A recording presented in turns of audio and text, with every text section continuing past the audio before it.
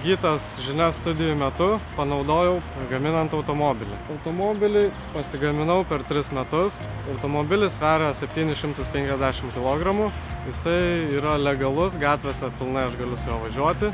Pagrinde e, darbai buvo atliekami net su metalu, e, virinimo darbai, e, skardų pritaikymas, lankstimas.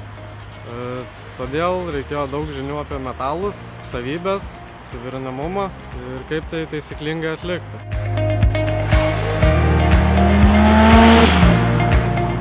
Automobilio kūrimo procesą panaudojau savo baigiamajam darbui Kauno technikos kolegijoje.